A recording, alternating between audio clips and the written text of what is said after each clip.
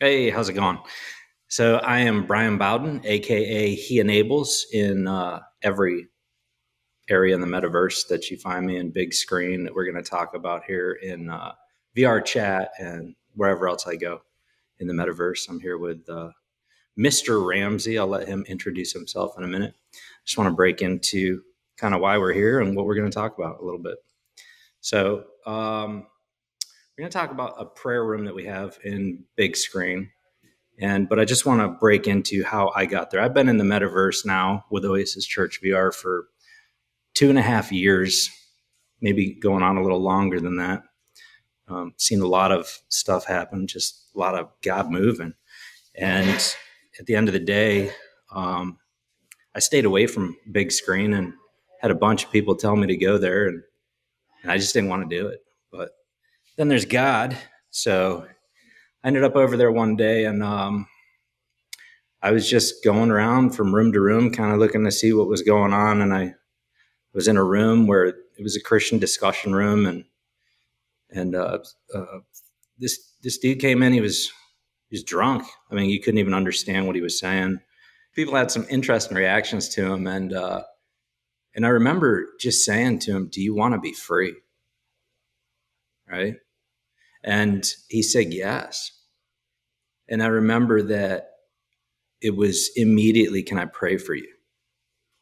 And as I started praying for him, that's when the Holy Spirit started opening up, opening up things. And it, it, he, there were people he had to forgive. I mean, it was, it was not a question.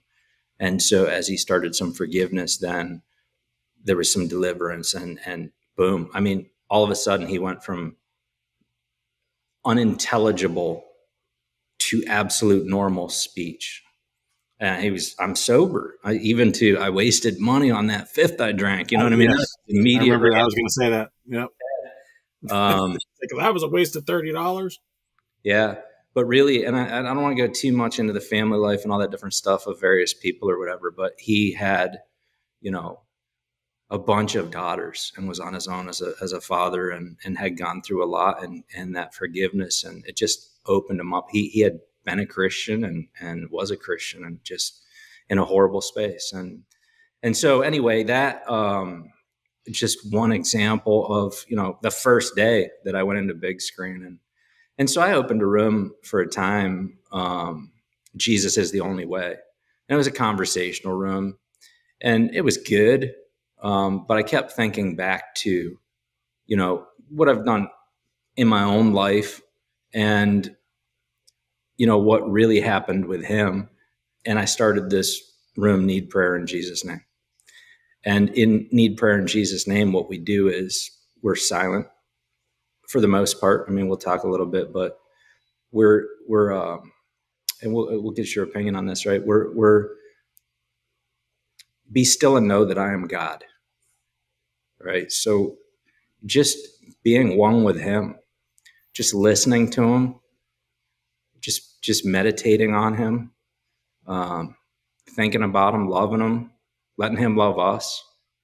And we pray, you know, before we go in there and, and while we're in there, that he would bring in the people that he wants to touch and change their lives. And and I got stories about that, right? You know, people that never have been in the app that stumble in there and, and whatnot. But I guess Ramsey, why don't you uh, introduce yourself and we'll chit chat about it. Okay. I'm Ryan Ramsey. Um, I've been in VR for about two years now, I think, and um, you know, I come from uh, background of large church, and then during the pandemic that fell apart, and now I'm part of a home church um, that I that I lead with another guy, and uh, I think a friend of ours at the church actually bought an Oculus. She bought a, a, Oculus, and she was letting us all try it out and show us. So the next day, I went out and got one, and I jumped on and um, loved it. You know, I've always been a game technology guy, right? You can see I'm I'm a computer guy by trade, and uh, really enjoyed it and I, I, jumped into this app called Bigscreen that was basically uh, a place to it's a social app where you can watch videos together um, and pretty quick there was there was a couple of Christian rooms that I jumped in, and I met some other believers, and it turned into it was almost it was a ministry opportunity, and I, I connected with a gentleman who's a pastor in North Carolina, and a, a talker. Okay, and he loved the conversations and and he loves people in a way where he's reaching out to them. He, he's a street preacher uh, by heart, and he was using this Oculus to to preach. So he and I ended up starting a little ministry, and we called it VR Lighthouse for Jesus. And we were doing, I was basically hosting the rooms and keeping everything under control and mediated, and he would preach. And uh, we started to get persecuted in there by some atheists, by, you know, just antagonists, which happens whenever you're in an internet situation, right? You're going to have internet bullies. And uh, so we took off from there and we, we went over to this app called AltSpace that we'd heard about. And that's where I met Tiger or Max and Heenables or Brian. And they were awesome. They, they basically helped get us started in AltSpace by building us a church space. And they introduced us to another brother named Doug who absolutely like loves building virtual church spaces and he built us several. So we moved everything there and we got away from Bigscreen. Well, AltSpace and the powers that be decided they were shutting it down. So it kind of put a hindrance on this ministry this that we had going. And uh, we ended up going back to Bigscreen for some time. And I was the one telling Heenables, hey, you should come over there. God's doing amazing things. I mean, we had seen literally like anywhere from 20 to 40 people give their lives to Jesus there. And it's an amazing thing when you're in virtual reality that people are willing to open up about their issues more than they would face to face with anybody that they know in real life. So now you have this opportunity to get deep with people. And and it's just it's a it's an amazing thing that you don't have even in a in a, a lot of church situations right? When people are worried about gossip and such and such. Like now you have this fake name fake avatar. I don't know what you look like. I don't know your real name. You're going to open up to me about stuff. It's a counseling pastoral counseling situation as well. Well brian and i uh, i started attending oasis church um, which they do some amazing world builds around the book, books of the Bible, and that was impressive. And started hanging out with both of them a lot, and um, and attending something that Brian hosts every Tuesday night, which is basically a Bible study discussion, really a, a training ground for ministry, and it's called Oasis Talks, and uh, that was awesome. And I still that's we still do that to this day. Um, but we, he was like, you know what, I want to do. After he came over to Bigscreen and he saw what God was doing there, he's like, you know what, we got to do this. And then a couple weeks in, he was like, all right, I'm going to do a prayer room. And I'll tell you what, man, God showed up. And it was amazing to me. Like, I'm just sitting there, like, wow, watching God move through us, his vessels, right? When we commit ourselves to be there for him, he brings people in who are in serious need of prayer, deliverance, healing. We have literally seen people healed. This is all virtual. Um, and it's just amazing to me to watch God move in that place and to be used by him for those situations. Like, and like I said, the training for me has really been working with Brian in this ministry and seeing how he goes after stuff. The boldness that he has has helped me grow, um, helped me get more connected with the Holy Spirit and praying for people and saying what the Spirit's telling me and learning that, you know, because I had told him originally, like, oh, I don't know, I don't have what you have. And he's like, yeah, you do. And it just, it does, it comes out, you know, and it's, it's good to be there for each other, encourage one another. And, uh, some pretty good friendships are developed as well. But we do try to keep the, uh, it's like like Brian was saying, Bigscreen is really all about discussion, and there's a lot of debate rooms and all kinds of stuff. There's political stuff going on all the time, and other, just other debates. And we really make it a, a point, that's not what this room's for. This room is for prayer and silence. And sometimes we have people who understand that, and sometimes we have people who can't stop talking for two minutes. yeah. Yeah, I uh, thank you. Um, I got a little emotional because I, you know, it brought me back to when I got set free. Yeah.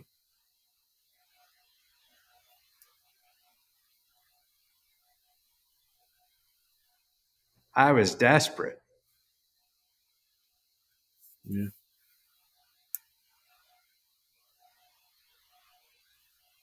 These people come in and get set free because he's a good God. In the metaverse. Yeah, he's there. So, yeah, it's uh I mean, what amazes me though too is think about, eh, you know, as a human, we can't reach people outside of our vicinity. Well, we've been reaching people in every country around the world because of Oculus. We prayed with Muslims who got set free, who got saved, right? We've prayed with, I mean, for people from Iran, we've seen some amazing stories of around the world um, people that are being affected by this movement. And it's not just us doing this. There's a lot of good brothers and sisters out there who are doing ministry in the metaverse now. And it's a, it's a really cool thing. And God is showing up there big time. And I think about the kids. Think about these kids, right, who are coming in there. And God is moving on the children right now, big time. You know, we're helping people who are having identity issues and all this gender identity stuff that's being thrown at them by the schools even you know i think of the the young kid who was in there one time and he was like he was like nine or ten years old and he was saying how his parents stopped taking him to church because the church was homophobic and i started asking him like are you so you're you're gay he said yeah i said uh so you're practicing this stuff and he's like oh no not at all it's like my teachers told me if I didn't like girls, I must like boys, therefore I must be gay. And I said, wait a second. I said, you, I, your identity is set by God. And I had a great discussion with him. Like, you don't need to choose your sexual preference at 10 years old. Trust me, wait a few years. you know what I mean? Like just, just being able to talk, have real, real talks with these people. It's like, and just seeing he had a he had a love for Jesus. He had absolutely love for Jesus, but he's being told by the society that because he doesn't like girls at ten years old, that he must be gay, and that just hurt. Yeah, and I think I think one of the interesting things about the prayer room for just for people to know if if if if they want to donate or if they just want to know, you know, like what it is about this part of Oasis VR Church. You know what I'm saying? That that that they're contributing to as a member, as you know, somebody that donates or anything. Um, that that being still piece is is crucial, and it it the the prayer piece is um, is super important. Like uh, when it comes to um, the Holy Spirit breaking through. So I mean, think about think about the people that and I want to talk about some actual examples so, so that people will understand. We talk about deliverance, we talk about healing, and uh, how well, how do you know? Well, you know, um, but at the end of the day, and, and also discipleship, I want to hit on that real quick too, because we have Kingdom Builder, you know, with discipleship. And also, we've put them out to other churches. And I think Dave's church is a, is a good, you know, example. We put some of the, the youth out there, especially. Um, and they've they've they've done well over there. But uh, so I'm just thinking how how this being still works, right? So somebody comes into the prayer room, and when it's the right person, there's a lot of trolls, different things, and we we discern through that. But when somebody comes into the prayer room and they say, "Yes, I need prayer," and we ask them a few questions. One one common one is, you know, who is Jesus to you? You know what I mean? uh, non-intrusive, but at the same time, it really gives us a good understanding of do they do they know him? You know, we've seen that. Like, you know, somebody could be Indian. There's a lot of different religions. Somebody could say, yeah, I believe in, you know, even Muslims believe in Jesus, right? But who is he to you? And so that kind of breaks some stuff down. And then I think it's the, I think it's the prayer. I think the, the way that the Holy Spirit moves through prayer in this particular environment, and I, I do this in real life, right? I do this in real life, and I plan on um, doing a lot more of this in real life, partnering with ministries and things like that, where I just go out where they're feeding the homeless and such, and and uh, you know what I'm saying, where where where I can talk to them while we're doing that and see if I can pray for them. But that that that part of prayer when you're praying for them and you're listening to the Holy Spirit, and all of a sudden He gives you a word, or you know, gives you a picture, or you just say something to the person, and they're like, "Well, how'd you know that?" right? Um, just trusting that he's going to move through you. And I mean, I think that's I think that's crucial for people to understand. When we, we, don't like when we pray before we open these rooms, which we do every time. It's it's Lord, use us. We're vessels. There are people that need to be free. We pray that you would bring them here. That that those ones that need you, whether it be deliverance, healing, salvation, whatever it is, that you would guide them here, that you would open their hearts, that you would be before them, that you would be before us, that you would open our eyes, open our ears, right? Speak through us. And I think that's the foundation that, you know, it just a short explanation of what it is that we're doing. And so what are in in having that in mind, what are some examples of the deliverance or the healing that that you uh, that stand well, out? Even, even above and beyond that, something you're forgetting to even mention is the salvations we've seen. You want to do that? Uh, yeah. Yeah. Well, Sorry, there's right. a lot of people looking at me. yeah, don't worry about that. We're all here for you, man. We might get some more trolls in here too. That's okay. That happens. So say this: Say Jesus. Jesus. I believe that you are the Son of God. I believe that you are the Son of God. That you lived a perfect life. That you lived a perfect life. That you died on the cross. That you died on the cross. For my sins. For my sins. Because oh. it was almost every night when we were, because, hey guys, we got really addicted to this and we were literally doing this every night for six months until 3 4 5 a.m in the morning. So it started to affect our personal lives a little bit. So we had to take a break but it was it was one of those things like we didn't want to miss a night because god was moving so heavy. We were seeing people set free but also we were seeing people give their hearts to jesus. Yeah. They would just sit in the room and watch what was going on and they would come up and say hey i want this. I want to know jesus. And that was we weren't even doing evangelism. We were just praying for other people and people are seeing what's going on. They're feeling the Holy Spirit in the room. They're being convicted and they're surrendering their lives to Jesus. And that to me was that was an amazing thing to watch. It's just how many people were were surrendering based on what they were seeing other people get prayed for about. Yeah. So I mean, as far as like examples, um, I mean, obviously we see so much uh, fear and anxiety on people. You know, yeah. like a lot of the audience we're dealing with is uh, anywhere from 10 to mid 20s, especially, right? And these, this generation is just under so much attack from the enemy when it comes to anxiety and social anxiety. And, and we have seen people get freed from that and, and God's peace literally overcoming them right there in the space, even when they just come into the room that's one of our number one goals is this is a peaceful place. This is God's spirit is here. So people will come in and be like, this is different. Like they can literally feel the Holy Spirit's presence yeah. in virtual reality. And that to me is amazing. I mean, as far as specific examples, um, I mean, there's there was so many. I, I can't think of like one that stands out. I mean, we have seen some manifestations, so that always stands out a little bit. You know, we've heard people choking, coughing, like the stuff coming out of them, um, yeah. and that that always stands out a bit. that's an area where I, I kind of I sit back and let Brian handle that because he's very bold with this, but he's it's helped me grow in my faith and uh, and calling, I guess, to to start calling these things out of people, man, because it's true, it's real, and uh, Yeah. it's one of those things of the churches I grew up in. Don't ever you don't see this going on.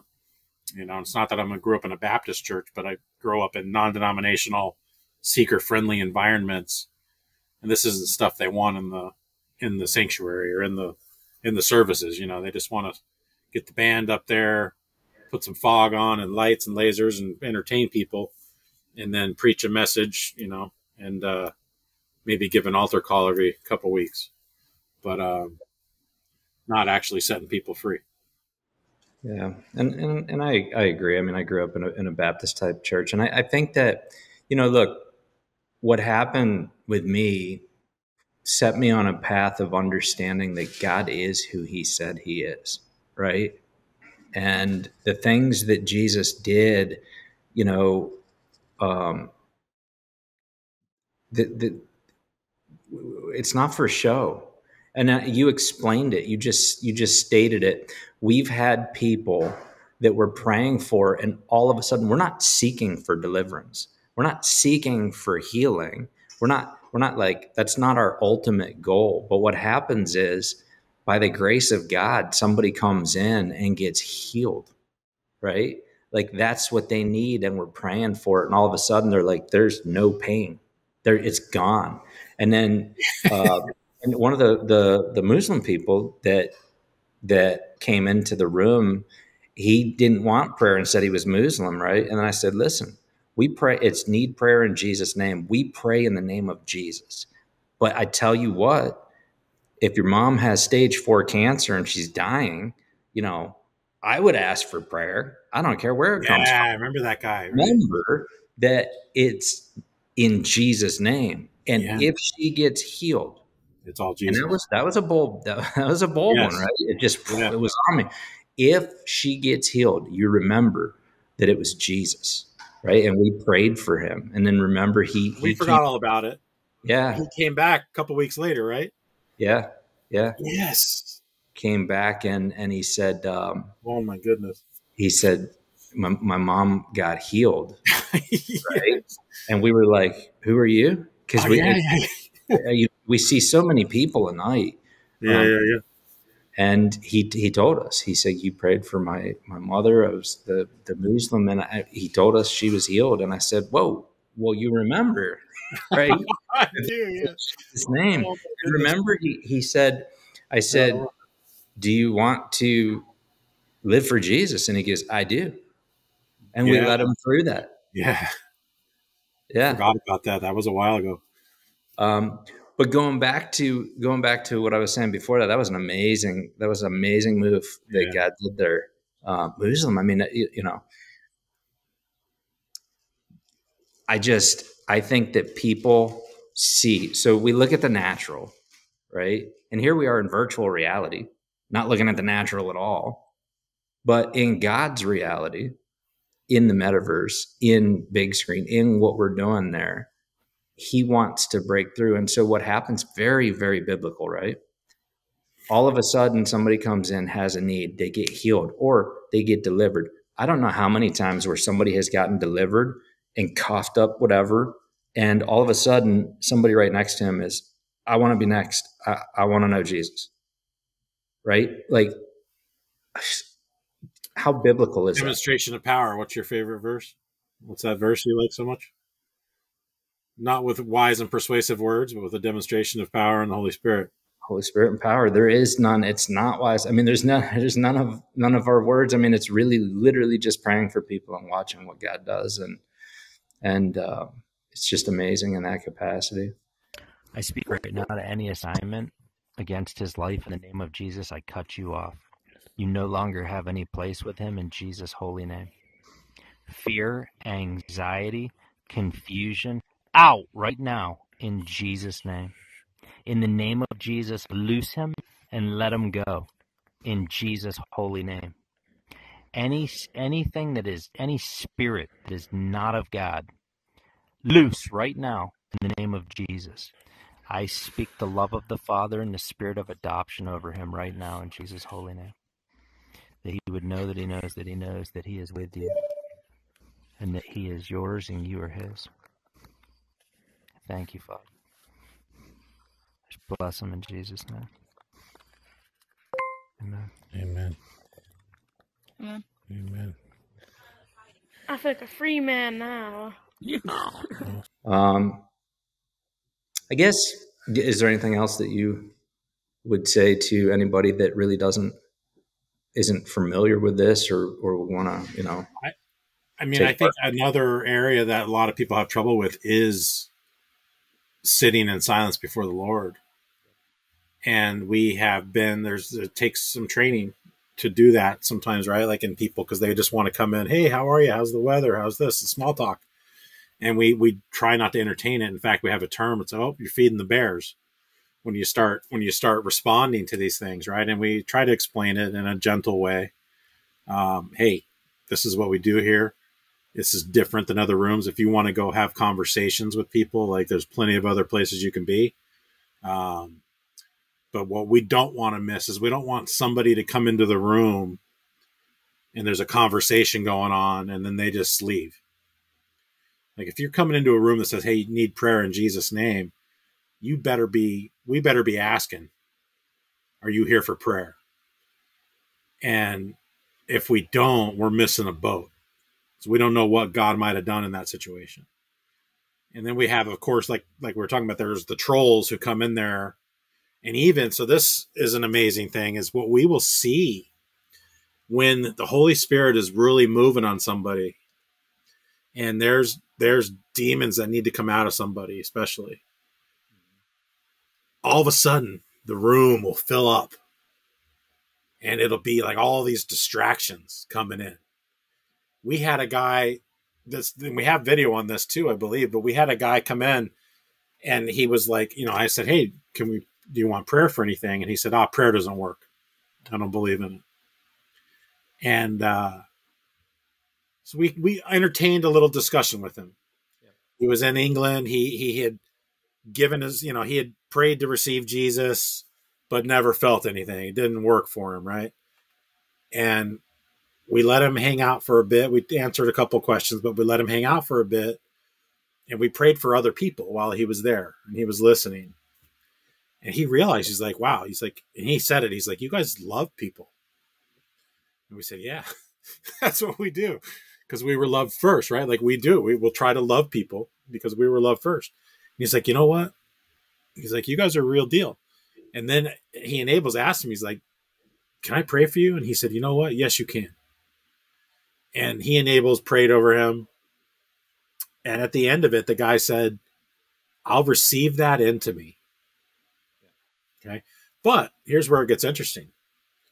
So all of a sudden, into the room pops somebody saying, Hey, and they called out this guy's name. I don't remember his name now. They called out his handle or whatever you want to call it, his avatar name. And they said, Hey, I'm here to save you. Yep. And he's like, he didn't know who this person was. And the person was like, oh, I was sent here by such and such. He didn't know who that was. So literally, this guy popped in the room, sent by dark, you know, like by demon demonic forces to get this guy out of there because this guy was about to give his heart to Jesus. And the, but the guy saw through it. The guy recognized it. Just like I just told him. I just talked to him about that type of stuff. Yeah.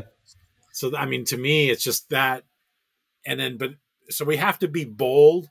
Heenables us great at uh no nonsense.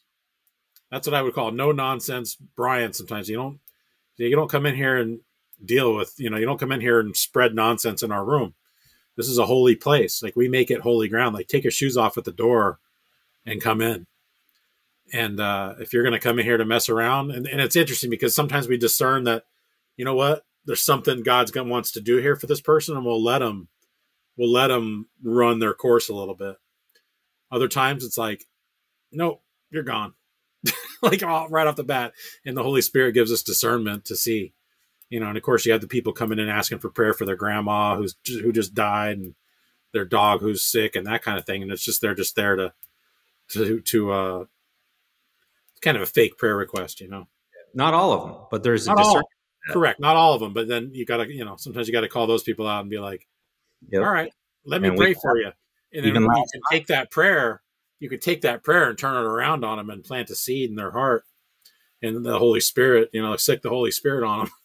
And uh, we've seen people come in trolling and then two days later come back being like, I just want to apologize and I actually want prayer and I want to know Jesus. Yeah. That's been amazing too, seeing that. Yeah. And I think for anybody that, that would ask, well, how do you know if they were healed or, or how do you know they were delivered or any of that different stuff? Their testimonies. Yeah. The fact that they've come back, the fact that they're in, in, ingrained with other ministries, the you, you know what I'm saying? Yeah. I mean, um, it, there's there's no doubt we've been able to see that, and I mean, there's there, there's no solid proof that we could give anybody because it is what it is, and people will choose to Even in real life, I mean, Oh yeah. you know, Yeah. Let's talk about in real life a little bit, or or actually, let's go to the Tuesday talks real quick here. How do you think? Just a, an opinion on the Tuesday talks. It's every Tuesday. It's Oasis Talks, right? Through Oasis Church VR. Um, we go through a chapter of the Bible right now. We're in Second Corinthians. We're, we're that's what we've been doing. You didn't always do that. No, no. We still No, love well, picking controversial topics.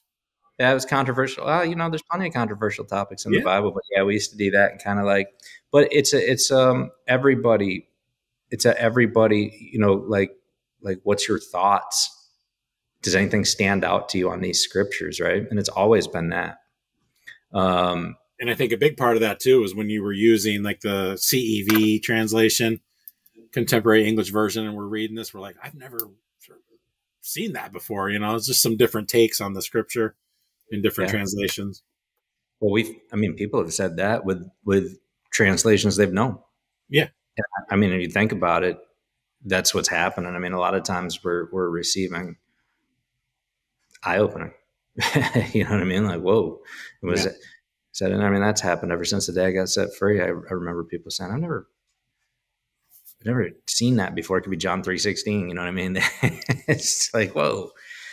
But so, what, what's your take on that? What, what do you think? And do they do they kind of parallel each other? I know just about everybody in the Tuesday talks has ended up going into Bigscreen, but I mean, how do they? How do they? mesh? Um, I mean, I know your heart is to train up uh, a platoon, let's say, of Holy Spirit warriors. I know that's your heart. Um, that's where what God has put in you is that you're on you're on the hunt to set people free because you were set free. You, that's that's what God has always had in your heart, based on what I, how I know you and your testimony and what I see, and your boldness to stand up fearless before the darkness and to push back. And I think so often, many you know, like so many Christians go throughout their entire walk in a I, mean, meekness is a good quality, right? Meaning, but meekness is not um, soft. Meekness is power under control, and um, I think that's that's your heart in in Tuesday talks is to really help people develop their spiritual warfare.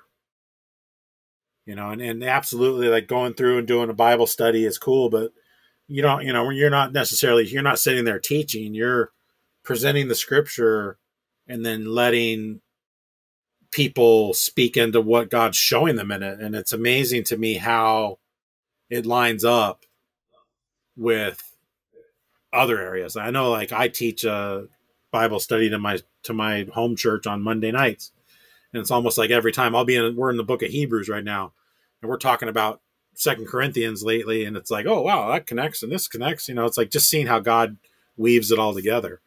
And then we Yeah. have our friend who is um dealing with i wouldn't call it attacks but dealing with uh people trying to downplay her identity in christ you know and she needs to know like no like you need to stand up and who god has made you. He made you who you are and you're part of the body for a reason and encouraging her to step out and go forward with another ministry rather than being told no you can't pray for people like that here. You know like we we see that. And um it's just it's a place for that. It's a place for encouragement. It's a place to build um build biblical character and uh train for spiritual warfare. And that's where you know the big thing was okay so we are taking about these scriptures and you're like all right guys let's go do the prayer room. And not everybody is is you know a lot of people come over there but the, for sometimes the more people we have there the harder it can be for god to move. Um, so i think it's got kind of good when it's just a, just two or three at a time right? Two or three gathered in his name and seeing god do the movement if all of a sudden we got 10 people hanging out in this prayer room we end up just talking right because Yep. it's hard to maintain the silence with 10 people rather than just like three Yeah. Yeah, and and to the the individual, and it, it really doesn't matter who they are. To the individual you were talking about, and you know, I would say every single person that goes to the Tuesday talks or has been in the prayer room, I have seen just personally, and I've seen this in the spirit. I have seen tremendous spiritual growth. yeah. Yeah. Like from one place to a totally different. Yeah. You know? From one hiding from god or whatever it is to hey i'm his child yeah. So um i guess last thing here we'll wrap this up is um how does any of this translate to real life? So for me i mean i i would say um it's definitely and it's something i remember saying actually i think i made a facebook post about this after i got i got saved and because my mom my mom is a prayer warrior. And uh i remember i wrote it on facebook like i want to pray like my mom. I remember writing that. And my mom even saying like just talk to god just pray the scriptures back to him like you know all these and it's just been you know like developing that. Like i don't get an opportunity in my life like i'm working from home i have my my house church but i'm not out meeting new people all the time you know i'm working i'm now i'm on vr at night you know like these kind of things. So it's like i don't get that opportunity to pray for people in real life. But what i do get is that opportunity online. And what's funny is that you end up people end up seeking you out. Like hey we took off we took a couple month break right? And people are like when we came back i'm like where you been? Oh my gosh. And what was awesome though we saw was that other people who had been in our room who had been affected by our room who had been set free in our room opened up a room in our name using the same name. And they were praying for people.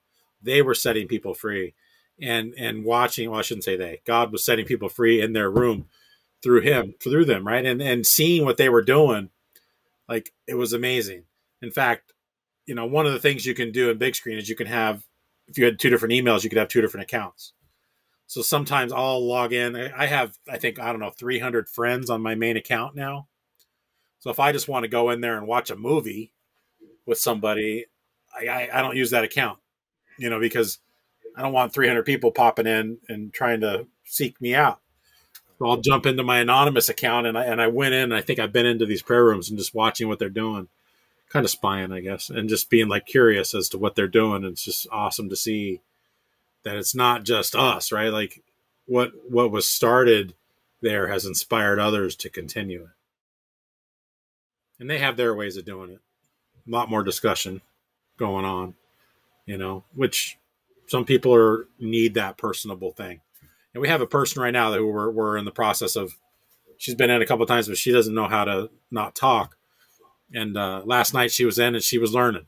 She was she was more quiet and I, I encourage her. She's a counselor at heart. So i'm encouraging her hey you need to open up a christian counseling room. Right. Where you can have these discussions. You can have those long and drawn out discipleship counseling and sessions with people. Because that is, there's a need for that as well. Absolute need for that. And like i said people being able to open up about deep rooted issues in their life because of the anonymity it opens up a world. Like I, I would love to see like true Christian counselors out here in VR offering help to people who need it. I think that would be awesome. Yeah. Yeah. So, well, let's wrap this up. I, I, I thank you, Yeah. Mr. Ramsey, for Ryan, Yeah. for uh, for your time and and um, I, I I would say this. I, I would say they're real people, right? And behind every name and every avatar, it's a real person. Real issues. Yeah. A real God in virtual reality. Yeah. Right. But for me, when I translate it into personal, I think what it's done is, you know, you had COVID, you had this, everybody distanced, you know, church, right? Or whatever. But I was able to see more, to be involved and see more people. The salvation is, like I said, the salvation is the most important thing. It's not a question. But the salvations were so much when Kingdom Builder came over, he was going to do ministry um, in a certain avenue. And he said, I see way more people get saved, truly saved, and things happen here than over there. I'm definitely coming over here. You know what I mean? And uh, and so I think real life translation is that the more the, the and, and think about it for a, let's call it a practice ground. Not that you want to practice with people's lives, but it really is. You, I mean, God is God, right? At the end of the day, training ground. God is training God. ground. Yeah, it is absolutely a training ground, and and so you can go in there and you can make mistakes, and somebody can be there, and it is what it is. People are going to make mistakes. If you don't think we are, you're crazy. You're That of your happens in real life. If you're Yeah. on a prayer team at a church, Yeah. you're making mistakes. But now this is somebody you got to see every week. Yep. Yeah. Yeah. And so, for me, I mean, uh, on this trip I'm on right now, up to my, on my way up to New Hampshire, I'm, I literally have, you know, in the few places that I've been able to be out and about, I've prayed for people. I've watched God move. You know what I mean? It's just, it's, it's just, it's, it's just what we do. I think it's what we're supposed to do. I think it's just extremely biblical.